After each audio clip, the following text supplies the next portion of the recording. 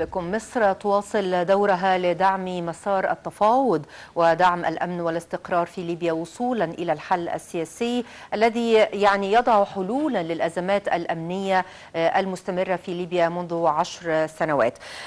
هناك محادثات هامة جدا تجري في مدينة الغردقة المصرية بوفود يعني أمنية وعسكرية تجمع الأطراف المتصارعة في ليبيا من أجل الوصول إلى حلول وتهدئة للأوضاع وتثبيت لوقف إطلاق النار. الأمم المتحدة أصدرت بيان أشادت فيه بهذا الدور المصري وقالت إنها تأمل بالفعل للوصول إلى حلول إيجابية وحلول دائمة ومستمرة للأزمة في ليبيا. نتحدث عن هذا الموضوع والآفاق المأمولة من هذا الاجتماع في الغردقة مع ضيفنا في هذه الحلقة دكتور محمد سيد أحمد الكاتب والمحلل السياسي. أهلا بك أهلا دكتور بك محمد. أهلا نتوقف مشاهدينا مع بعض المعلومات عن هذه الاجتماعات وعن الأزمة الليبية ونعود بعده لنفتح النقاش.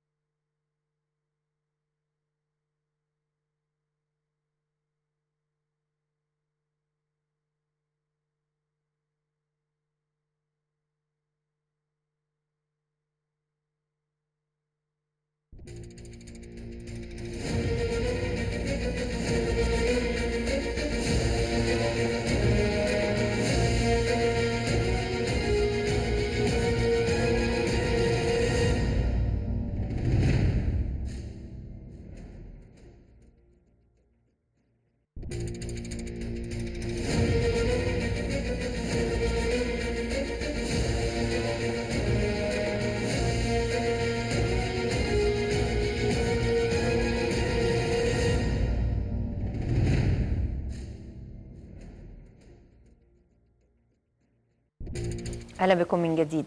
دكتور محمد حدثنا أكثر عن هذه الاجتماعات في الغردقة ما هو الجديد فيها؟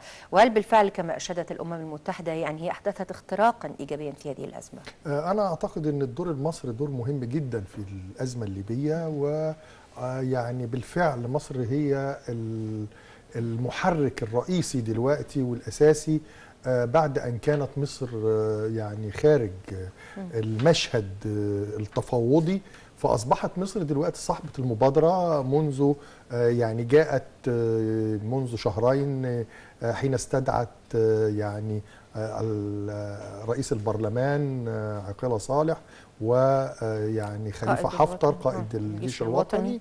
وبالفعل حتى كان ساعتها الكلام كله على إنه ده طرف واحد.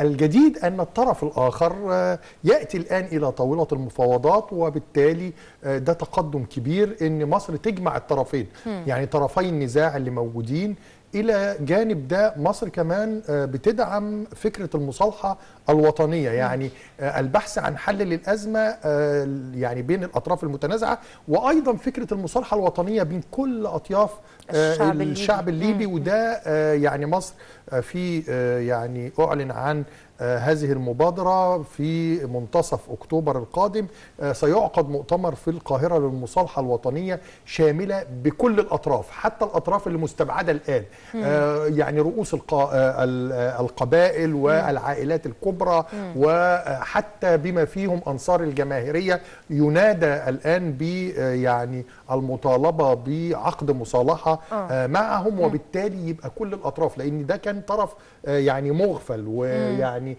بيتم تجاهله وبنتحدث فقط على الأطراف الكبرى الرئيسية, آه. الرئيسية. لكن ده طرف أيضا مهم ورئيسي لدرجة إنه في ناس بتنادي ب لابد من إنه الحديث مع سيف الإسلام القذافي وأنصار الجماهيرية باعتبارهم طرف رئيسي على الأرض موجودين. يعني ما تقدرش تخصمهم نغفله صحيح. آه طبعا طالما بنتكلم على مصالحة وطنية.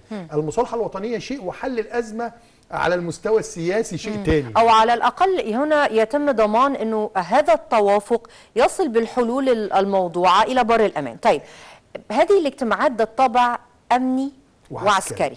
طبعا. هناك يعني فرق بين ال- الطابع الأمني والعسكري في هذه المناقشات؟ آه، يعني طبعا يعني الطابع ال- الأمني معروف إنه آه، بيعتمد أكثر على المعلومات بي- بيعتمد آه، أكثر على ال- الخبرات اللي موجودة لدى القيادات الأمنية.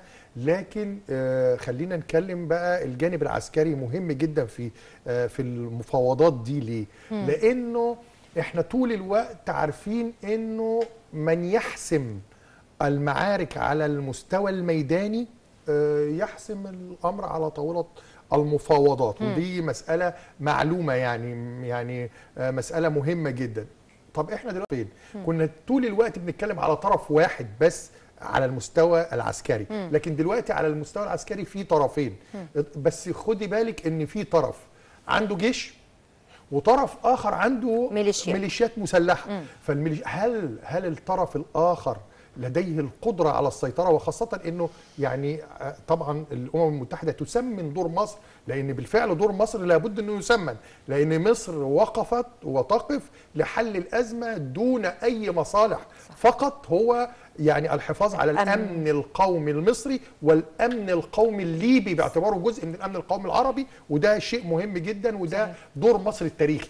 لكن اللي مهم بقى واللي إحنا بنتكلم فيه إنه الأسبوع الماضي يوم الثلاثاء اللي فات لو تتذكري حضرتك خرج الأمين العام للأمم المتحدة وقال كلام غريب جدا قال إنه الميليشيات المسلحة لن تسمح ب آه، يعني حل الأزمة سياسيا دون أن يدين هذه آه، الميليشيات. الميليشيات المسلحة. ودون أن يدين تركيا التي تقف تدعم هذه الم- آه، ومش كده وبس. وقال إنه الميليشيات المسلحة بتقول إنها لن تقبل بالإضرار بمصالحها. يعني أي اتفاق سياسي مش هتقبل بيه إذا كان بيضر بمصالحها.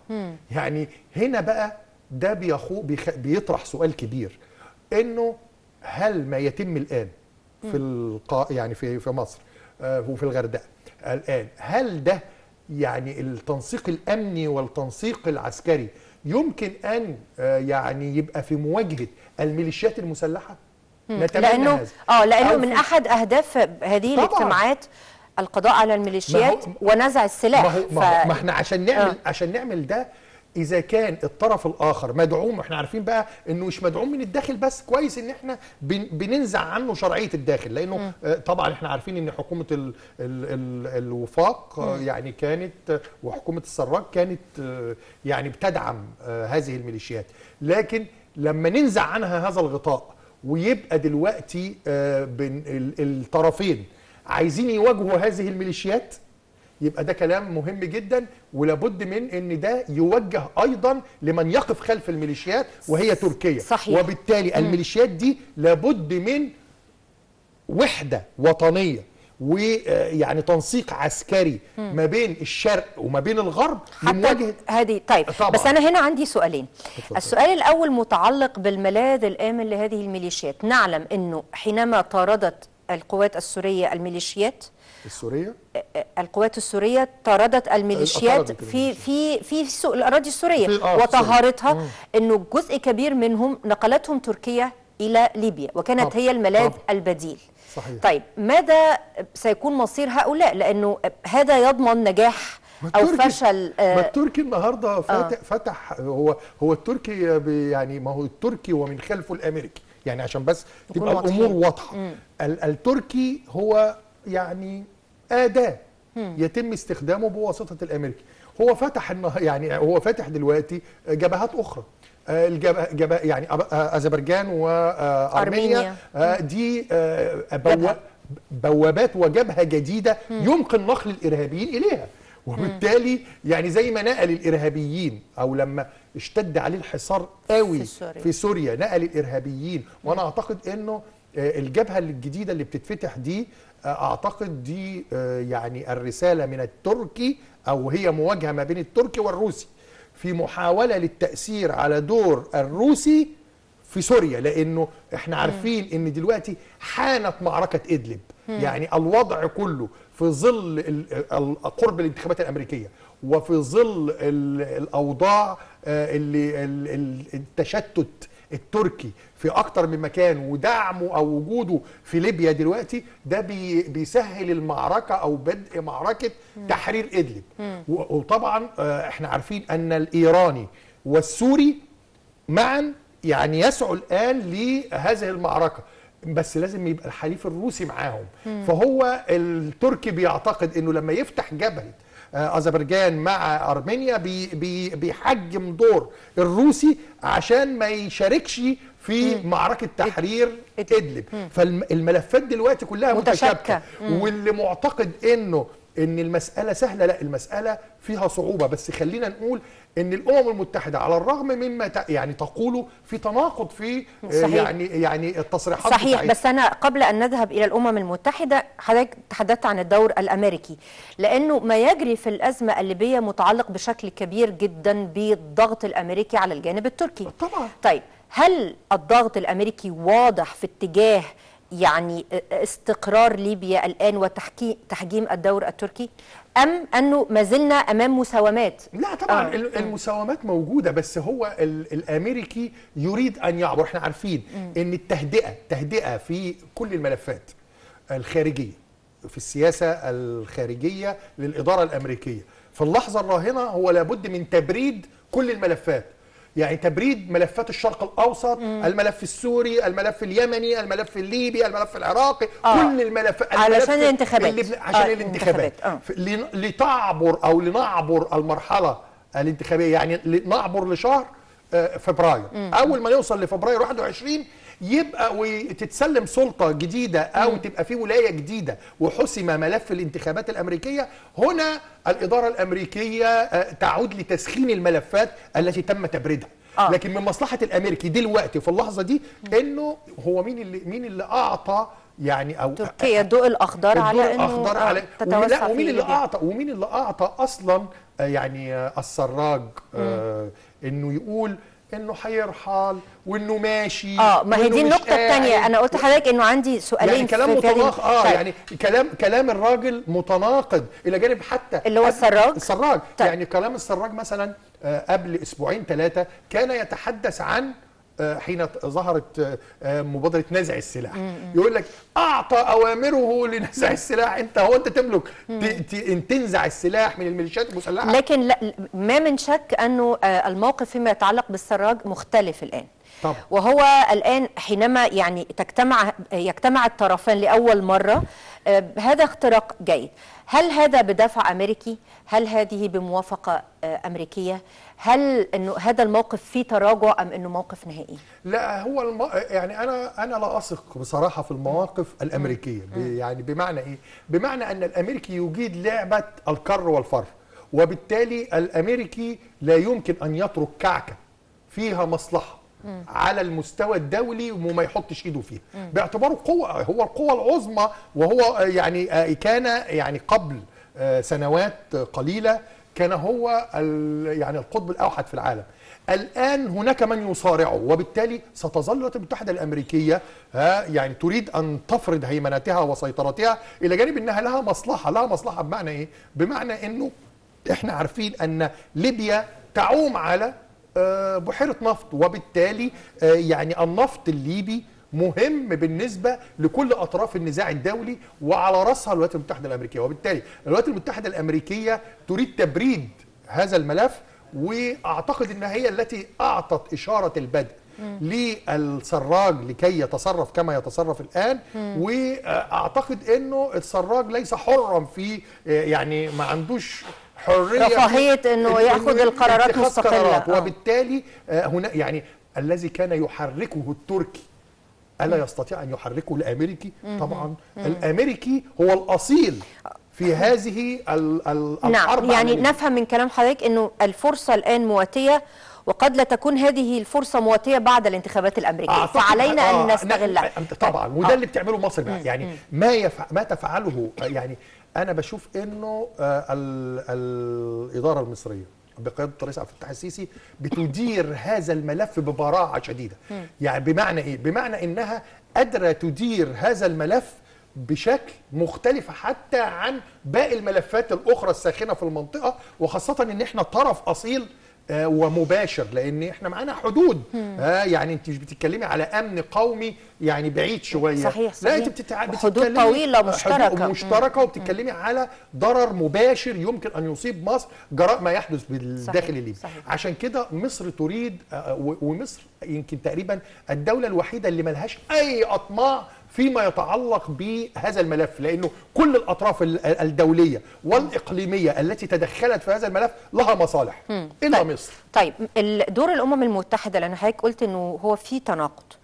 آه. يعني وكان واضحا وربما استقالة المبعوث السابق لأنه عجز عن تنفيذ مهمته. هناك مبعوثة جديدة أو قائمة بالأعمال. أعمال. وهناك اجتماع مرتقب في جنيف في شهر أكتوبر القادم. أولا وضح لنا شكل التناقض وهل اختلفت الأمور الآن مع الضغط الأمريكي الذي هو؟ هو ده. يعني أنا بقول إنه المنظمات الدولية ليست بريئة. بمعنى إيه؟ بمعنى أن المنظمات الدولية تخضع للضغوط الدول العظمى. بمعنى إنه آه، الولايات المتحدة الأمريكية لا زالت هي آه، القوى الأكبر في العالم التي تستطيع أن تؤثر بقراراتها وبضغوطها على هذه المنظمات.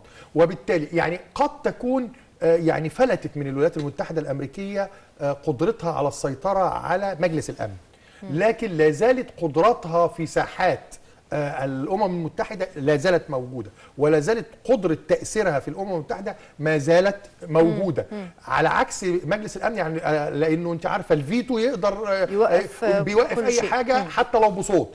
والد- والدليل على كده إنه على مدار ال- العشر سنوات الماضية وخلينا نتكلم على من بدءا من 2013 لما حاولت يعني عبر الباب ال- السابع إنها تخترق وتعمل يعني غزو عسكري لسوريا. لم تستطع.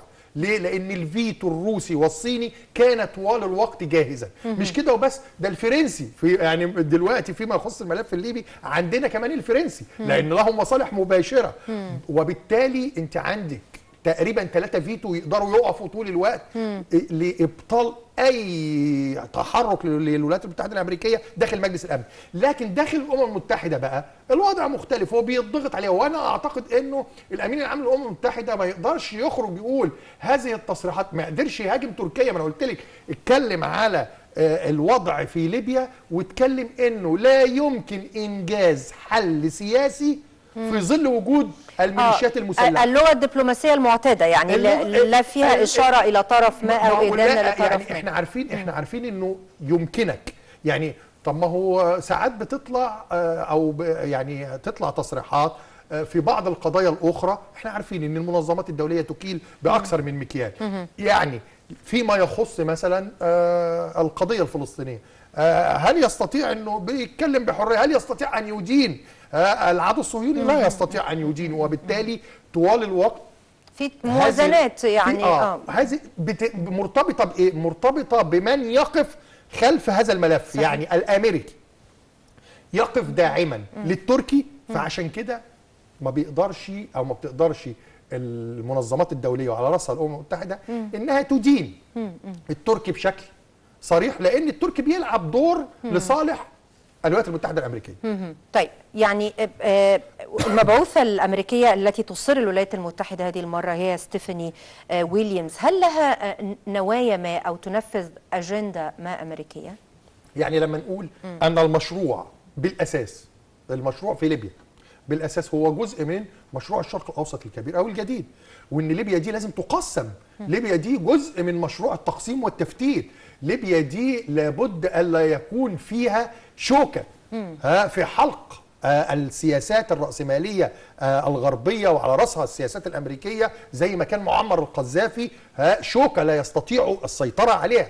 وبالتالي آه، بعد التخلص من معمر القذافي أصبحت لا زال المشروع قائم. يعني إذا كان الجيش المصري خلينا نقول صراحة كده إذا كان الجيش المصري العظيم والجيش العربي السوري العظيم إن الجيشين دول اللي هم جيشين الجمهورية العربية المتحدة أبطلوا مشروع الشرق الأوسط الجديد. يعني هم اللي عطلوا المشروع. صمود سوريا وصمود ويعني انتباه الجيش المصري لما يحاك من مخطط كبير للتقسيم والتفتيت. فدخل على الخط واطاح بالجماعة الإرهابية من المشهد اللي هي كانت بتستخدم. كل الجماعات الإرهابية أنت شايفاها اهي فهي دي اللي كانت موجودة. فالإطاحة بيها وتصدر المشهد أو إن الجيش الم- المصري يتصدر المشهد ويبطل مفعول مشروع الشرق الأوسط الكبير أو الجديد ده لا يعني إن المشروع انتهى. صحيح. والدليل على كده إن المشروع لا زالوا بيحاولوا في سوريا لا زالوا بيحاولوا في العراق لا زالوا بيحاولوا في لبنان لا زالوا بيحاولوا في اليمن لا زالوا بيحاولوا آه، في ليبيا. والم والمشروع يمكن أن يمتد لأماكن أخرى. صحيح. لكن خلينا نقول إنه ال- اللي ال- المبعوثة الأمريكية. الآن حين تذهب آه، إلى ليبيا أكيد عندها أجندة صاحب المشروع الأصلي اللي هو الأمريكي. الأمريكي اللي هو إيه؟ اللي بيرى إنه دي كعكة لابد إنه ياخد النصيب الأكبر فيها. طيب إحنا ينضم إلينا الآن عبر الهاتف من بيروت الأستاذ رضوان الفيتوري المحلل السياسي الليبي. أستاذ رضوان زخم كبير يحيط الآن بالملف الليبي سواء اجتماعات الغردقة هناك أيضا آه، المسار الألماني هناك اجتماعات جنيف المرتقبة. آه، ما الذي آه، تتوقعونه كليبيين من آه، آه، اجتماعات الغردقه والذي يمكن أن تضيفه لهذه المسارات؟ تحياتي حضرتك الساده. المشاهدين طبعا ال- الاجتماعات العسكرية التي تجرى الآن برعاية الشقيقه مصر هي تكملة للاجتماعات السابقة يعني كان عندنا حوالي 18 اجتماع في القاهرة وأيضا توصلوا آه، بالمناسبة هي آه، آه، العنوان بدل من أن توحيد الجيش الليبي الجيش الليبي سيدتي موحد كما ترى سيد مشير إنما هذه الاجتماعات لضم باقي الضباط الذين لم يلتحقوا بالجيش. عموما رأينا بعد ما اتفقوا على كل الأمور وجاء منصب القائد الأعلى آه، للقوات المسلحه ثم هنا تدخلت مرج- مرجعياتهم الميليشيه الميليشيه وأف وافسدت كل شيء. آه، نحن نتوقع أن يكونوا آه، الذين في الطرف الآخر المفاوضون أن يكون لهم صلاحيات التوقيع آه، قرارهم م- ملك أنفسهم. لكن للأسف آه، مرجعيتهم تركيا آه، مرجعات مرجعيتهم طرابلس. الكل يعرف أن طرابلس مرجعيتها تركيا مرجعيتها اردوغان آه، تركيا خلصت العبارة يا سيدتي. تركيا حريصة كل الحرص على عدم إغلاق الملف الليبي على استمرار هذه الفوضى. هي على الطريق طيب ما هو ما هو لهذا التحديات كبيرة التي تواجه المسار الأمني والعسكري فيما يتعلق بالأزمة الليبية. هناك الميليشيات المسلحة ذات الانتماءات المختلفة هناك التواجد آه، التركي. فبرأيك كيف يمكن مواجهة هذا التحدي؟ لأن تحدي الميليشيات من التحديات المستمرة معنا في هذا الملف منذ بدء الصراع في ليبيا. فهل هناك آه، برأيك يعني بداية انفراجة لحل هذه الأزمة الآن؟ آه، سيدتي آه، اولا اولا بالنسبة للمجتمع الدولي آه، من يعول على المجتمع الدولي؟ قد خاب مسعاه لأن هذا المجتمع الدولي مجتمع مراوغ بامتياز لو يريد حل الازمه الليبية لكان حلها من الشهور الأولى. و- ولم تمتد لسنوات وسنوات. ويرى هذا ال- العثماني بأكثر من سنتين. وهو يشرب المحافظه والسلاح هذه النقطة. آه، اجتماعات ال- ال- الاجتماعات العسكرية التي تجرى تجرى في الغردقه آه، تختلف تماما عن اجتماعات الخيانة التي تجرى في المغرب. التي تجرى في المغرب عبارة عن مجموعة لا يمثلون آه، الشعب الليبي اطلاقا بل هم إخوان مسلمين يجلسون مع البرلمان الشرعي لتقاسم المناصب. لا أكثر ولا أكثر ولا. أقل. ولا ي- ولا يملكون وليس عندهم قدرة آه. على تحريك حجر في طرابلس طيب أنا بالتالي الساده المعول على على العسكريين المعول على التحرك العسكري ولا يحل الميليشيات سوى الجيش العربي الليبي. أشكر حضرتك شكرا جزيلا أستاذ رضوان الفيتوري المحلل السياسي الليبي من بيروت. أشار أستاذ رضوان إلى مسار بوزنيقة في آه، المغرب ومن الواضح هو يتهم يعني المجتمعون آه، هناك بال يعني بأن آه، هذا العمل هو عمل خيانة للجانب الليبي وأن هي محصصة يعني للسلطات في ليبيا. تعليق حضرتك على هذا الكلام؟ بتفق معاه إلى حد كبير إنه ده يعني جزء من المفاوضات السياسية بشكل عام آه، مفاوضات من أجل آه، يعني الفوز بكعكة آه، فيما يتعلق بتقسيم السلطة فيما يتعلق بتقسيم الغنائم. ليبيا أصبحت يعني آه، آه، الملف الليبي ملف تم تدويله بالفعل. وبالتالي أنا بشوف إنه مهم جدا ما يحدث الآن. لكن هل ما يحدث الآن من من الجانب المصري؟ يحل الأزمة الليبية يعني ما خلينا ما نبقاش متفائلين قوي لأنه الأزمة أكبر من آه، المجتمعين يعني الأطراف التي تجمعهم مصر الآن الأزمة أكبر منهم. يعني ال- ال- الكلمة لأن لهم انتماءات إقليمية يعني القرار ليس ليس بيدهم. لا ليس ليس القرار بيدهم. وبالتالي خلينا نبقى يعني أكثر آه، شفافية وأكثر وضوحا بأنه مصر بتحلحل هذا الملف لكن حسم هذا الملف مرتبط بقوة دولية كبيرة في آه، يعني حتى أكبر من التركي. يعني يعني آه، يعني ضيفك الأستاذ رضوان بيتكلم على إن التركي التركي لا في ما هو أكبر من التركي. يعني هو من يحرك من يحرك التركي. من يحرك التركي. وبالتالي المسألة أعقد من ذلك بكثير والمسألة لن تحل بين عشية وضحاها قرروا أنها قرروا يعني الغرب وقوات الناتو التي يعني أسقطت، أسقطت النظام ال-. ال- ال- يعني ال- البطل ال- الشهيد معمر القذافي آه، دول الذين يعني جاءوا لي يعني يتكالبوا على الدولة الوطنية الليبية وعلى ثروات الشعب الليبي آه، دول مش آه، ما جوش يلعبوا ولو حضرتك تشوفي إنه بمجرد ما عطل الجيش الوطني الليبي عطل فكرة النفط.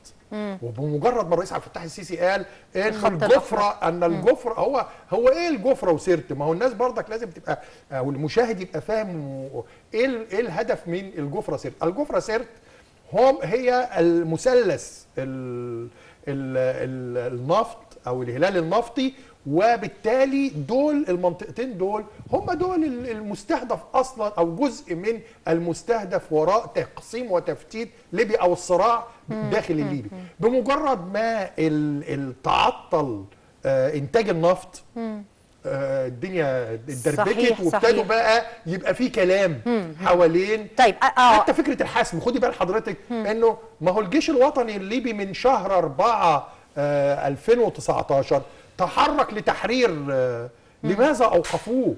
يعني في قوة دولية فوق هي اللي صحيح. أوقفت ده طيب. لأنه كان قارب خليفة حفتر آه بجيشه على الدخول إلى طرابلس. أيوه صحيح. وعلى حسم المعركة وهنا تدخلت تركيا يعني بشكل مباشر في قو... لأنه القوى الدولية لا تريد حسم هذه طيب. المسألة لأنك ولا حل الأزمة الليبية طيب في حضرتك. تحدثت عن ال- الجانب الغربي آه، آه، أوروبا والاتحاد الأوروبي طرف فاعل في هذه الأزمة ومنهم من يتضرر بشكل مباشر مثل فرنسا وإيطاليا إيطا- ف- الجديد بقى آه. إنه مصلحة إيطاليا كانت متضاربة مع مع, فرنسا. مع فرنسا. دلوقتي بفضل بردك مصر وبفضل التدخل المصري ابتدى آه، آه، يبقى في تقارب.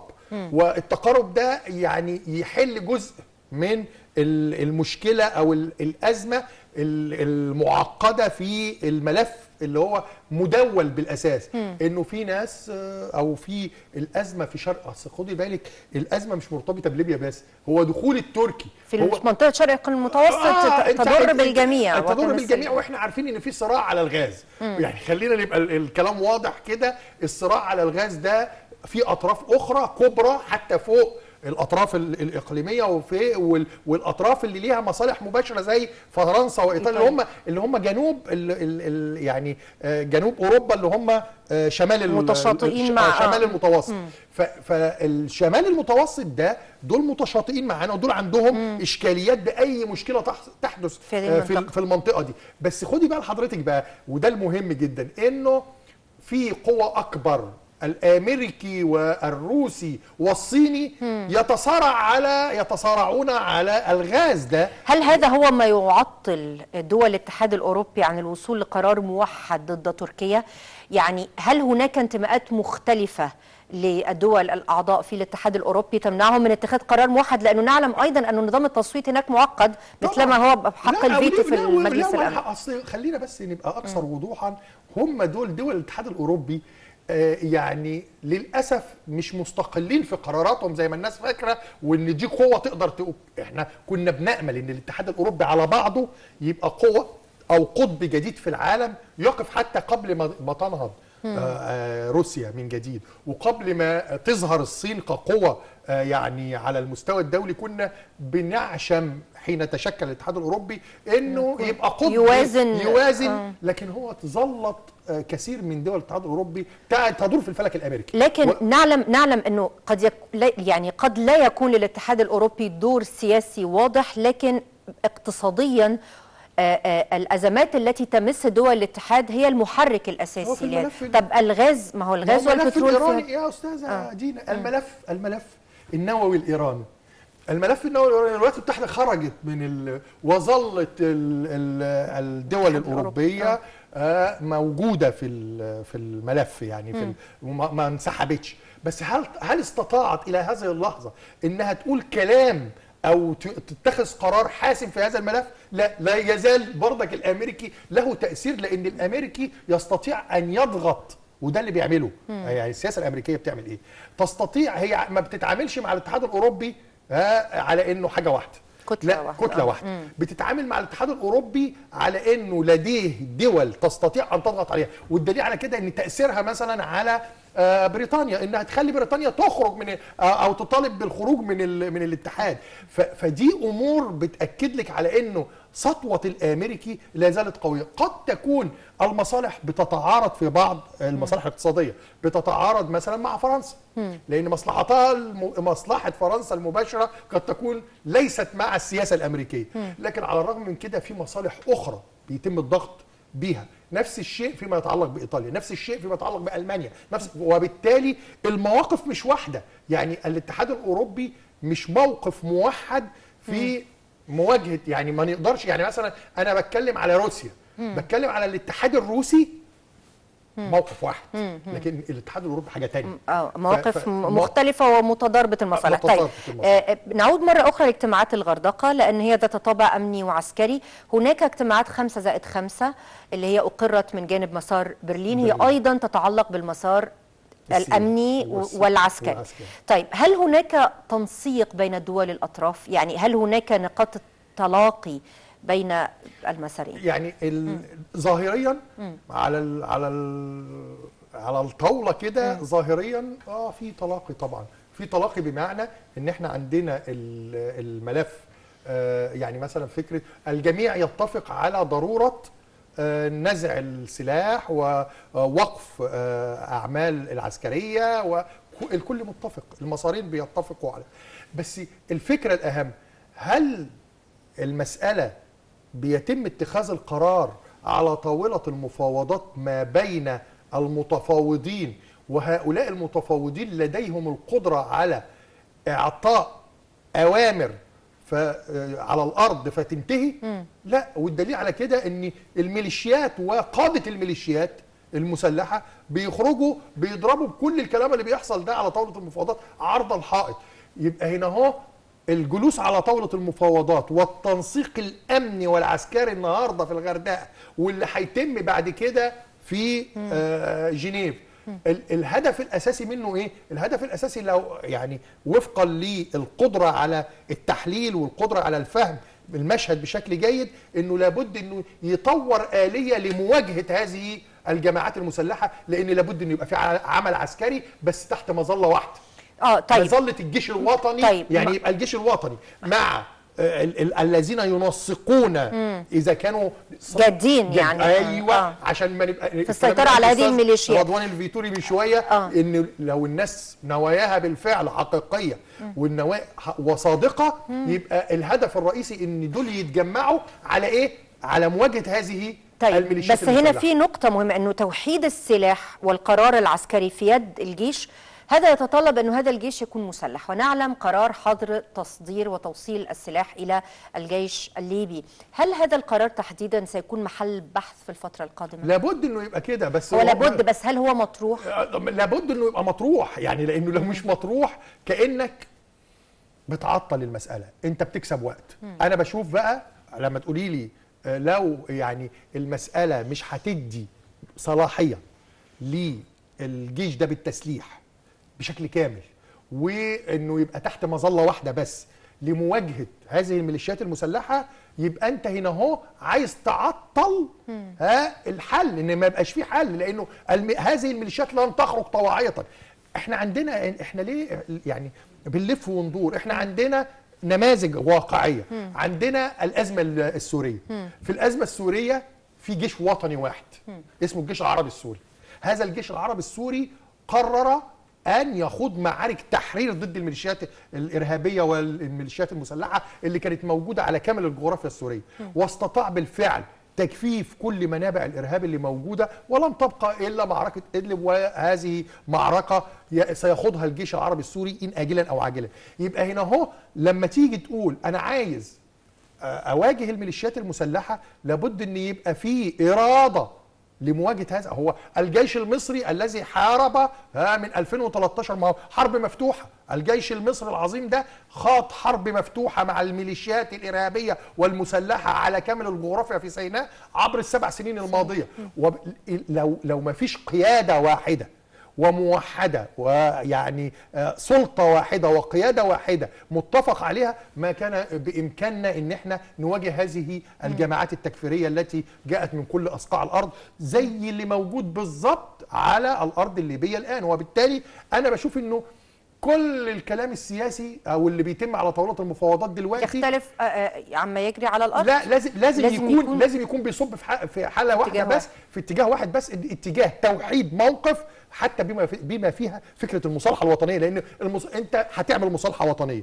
وكل الأطراف هتبقى راضية وكل وهنروح لانتخابات وهننجز انتخابات بس هتظل هذه الجماعات الإرهابية موجودة على الأرض يبقى لابد من مواجهتها. طيب الليبيين اللي اللي- الليبيين اللي في هذه الميليشيات يعني طرح فكرة ضمهم للجيش وكانت هناك شروط يعني من لطخت يداه غير من يعني لم يشارك في عمليات إرهابية هل هذا ممكن لأنها فكرة طرحت؟ يعني لا يعني مم. فكره فكرة إنك أنت تجيب ما هو فكرة في فكرة آه يعني ده في إطار وده تم بيتم يعني. آه ده تتم مصالحة وطنية وده على فكرة حصل حتى آه في سوريا يعني يعني حصل في سوريا وحصل في جنوب أفريقيا زمان وحصل في في في أماكن كتيرة من الأماكن اللي كان فيها نزاعات ووصلوا ل آه يعني آه حروب وأهلية ويعني اندمج بعض الأشخاص من المواطنين في الميليشيات المسلحة وحاجات كده وقفوا ضد جيوشهم الوطنية. لكن خلينا في النهاية نقول تتم مصالحة وطنية ويتركوا السلاح ونصالحهم ونعفو عنهم آه لكن فكرة إنهم ينضموا للجيش الوطني لا طبعا. يعني لا يمكن أن أقبل إرهابيين آه، أو من تلوثت أيديهم بالدماء بإنهم ينضموا للجيش. لا لكن أنا أقدر أقول أنا أشكل من اللي عايزين يخرجوا دول أشكل قوى شعبية تساعد الجيش في هذه. المواجهات طب هو- لأن الحرب هنا لأن الحرب هنا هتبقى حرب شوارع وعصابات. صحيح ما هو مطروح في اجتماعات الغردقة فكرة تشكيل قوات شرطية. تمام يعني يعني لأنه جهاز الشرطة غائب دلوقتي الآن في ليبيا آه، لكن أيوة، بس- ولكن الأمن الداخلي في حاجة إليه. أيوه بس ممكن هو هيعمل إيه؟ آه. يعني مهمته يعمل إيه؟ إحنا هنا هو فيما يخص دول أصل دول بيتم بيعهم وشرائهم. يعني من يعني أنا دلوقتي مثلا تيجي تقولي لي آه، أعضاء جماعة الإخوان الإرهابية دول يمكن بأي حال من الأحوال أن نثق فيهم ها وندخلهم آه، آه، في الجيش المصري؟ لا طبعا. لا لا يمكن بأي حال من الأحوال. هل ممكن الدولة تستعين بيهم؟ الدولة المصرية تستعين بيهم بأي شكل من الأشكال آه. لم... آه، ممكن ال... ال... ال... من يعلن آه، براءته ومن يعلن يبقى رديف لكن لكن يبقى آه، جزء من الجيش. أساسي آه. لا لا لا طيب لا, لا لأنه يمكن. حضرتك تحدثت عن الإخوان المسلمين وهم موجودين بقوة ونشطوا في الفترة الأخيرة في آه، ليبيا.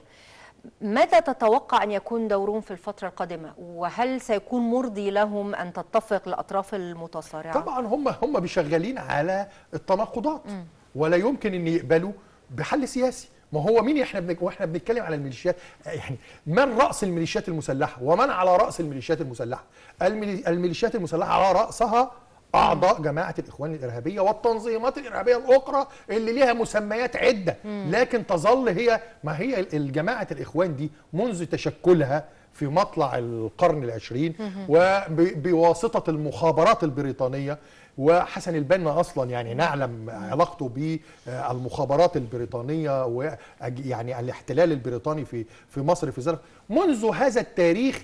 وهي كل الجماعات الإرهابية التي خرجت على المستوى الدولي خرجت من تحت عباءتها وبالتالي حين تسمعي عن تنظيم القاعدة وداعش بتشوف الأعضاء أصلا وابحثي عن أصولهم الاجتماعية. وأصولهم التنظيمية. فهتلاقي إن أصولهم الاجتماعية وأصولهم التنظيمية من الأساس كانوا أعضاء في جماعة الإخوان. وبالتالي أنت أنت أنت هنا هو وأنت بتتكلمي على جماعة الإخوان ما بقدرش أفصلها بأي شكل من الأشكال عن الميليشيات المسلحه وهم حتى لو كانوا ليبيين يعني عشان بس نبقى قادرين برضك نفرق حتى لو كانوا ليبيين مش بتكلم بس على المرتزقة الذين أتوا من خارج من من. خارج من خارج ليبيا. طب ما إحنا عارفين إنه ال- الجماعات ال أو التنظيمات الإرهابية هي تنظيمات فكرة. هي عابرة للإيه؟ تنظيم الفكرة عابر للحدود. يعني مالوش وطن. صحيح. وبالتالي الإرهاب لا دين له ولا وطن له وبتاع وبالتالي أنا لا أستطيع أن أتحدث عنهم على إنهم ها يعني تنظيم متماسك يمكن أن أتفاوض معاه حتى أو أعقد صفقات معاه أو أشوف له. الأهداف سي- مختلفة آه طبعا. بالأساس. هو. هو هدفه في الأساس الاستيلاء على السلطة. هو هدفه في الأساس تنفيذ أجندة خارجية. وبالتالي لا يمكن أن أعتمد عليه في أي حل. عشان كده حتى وأنا بتكلم على فكرة المصالحة الوطنية مش بنتكلم على مصالحة وطنية مع داخل بالداخل الليبي. ها؟ أيديهم مع. دول. صحيح. يعني مع الإرهابيين دول مفيش حاجة اسمها مصالحات. دول لابد من محاكمات ليهم. بشكر حضرتك. شكرا جزيلا. دكتور محمد سيد أحمد الكاتب والمحلل السياسي على وجودك معنا في هذه الحلقة من المشهد. ونشكركم مشاهدينا على متابعتنا. إلى اللقاء في حلقة أخرى. بالغد. إلى اللقاء. Thank you.